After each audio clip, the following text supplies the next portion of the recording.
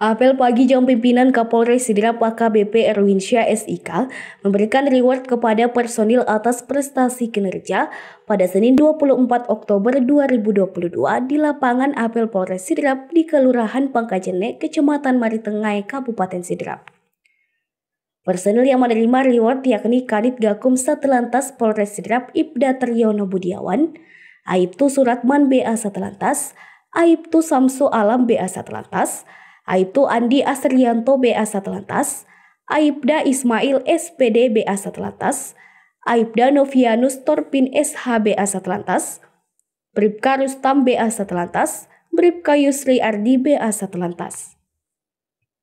Kapolres Sidrap KBP Erwinsyah SIK mengatakan bahwa pemberian reward ini yang berhasil meraih juara satu dalam perlombaan TPTKP Lakalantas tingkat Polda Sulawesi Selatan dalam rangka memperingati Hari Lalu Lintas Bayangkara ke-67 tahun 2022 yang dilaksanakan di SPN Batua, Polda Sulawesi Selatan.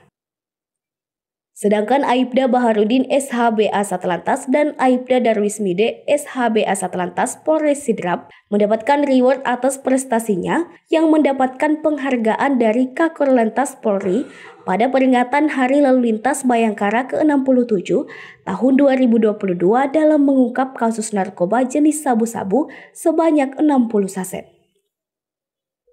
Erwin menekankan kepada para personil agar jangan berhenti dalam melayani masyarakat.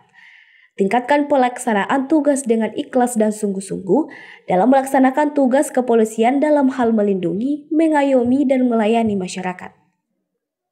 Ukirlah prestasi sehingga pada saat kita melaksanakan sekolah perwira dapat dijadikan prioritas. Buat terobosan kreatif di masing-masing bagian, satuan fungsi polsek sehingga dapat mengharumkan organisasi. Selain itu, Kapolres Sidrap AKBP Erwinsyah SIK juga menyerahkan perlengkapan Babin Kamtipmas secara simbolis kepada perwakilan Babin Kamtipmas yang telah ditunjuk.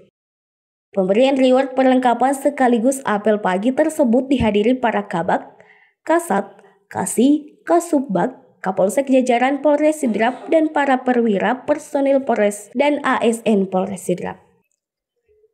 Dari Kelurahan Pangkajene, Kecamatan Maritengai, Kabupaten Sidrap, Sulawesi Selatan, Erwin Parolai mengabarkan.